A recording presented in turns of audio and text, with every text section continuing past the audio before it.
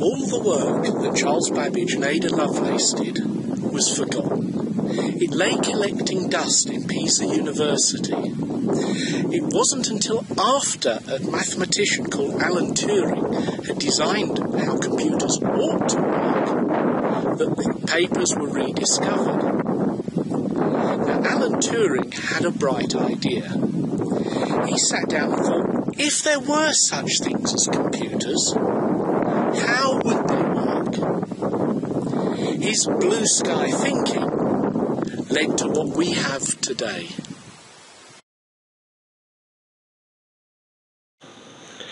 Alan Turing published his first paper on how computers ought to work in the 1920s. But then, in the late 1930s, along came the Second World War. And it was realised that Britain really did need some computing facilities. So the British government helped pay for a system called ENIAC and put Alan Turing in charge. He was the brains of the organisation. And that helped us crack the German secret codes. The result was that we knew an awful lot about what the Germans were doing, but they didn't know much about us. Alan Turing's star was well and truly up, and that caused an awful lot of jealousy. Unfortunately, Alan Turing was gay, and at that time homosexuality was illegal in Britain. But some of his colleagues explained his situation to the police.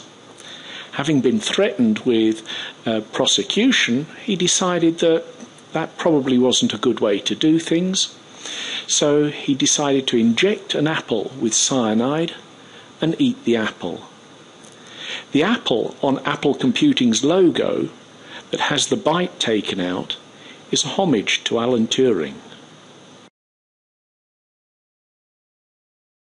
The machine that he helped create, ENIAC, looked like this, and it helped us win an awful lot of battles later on.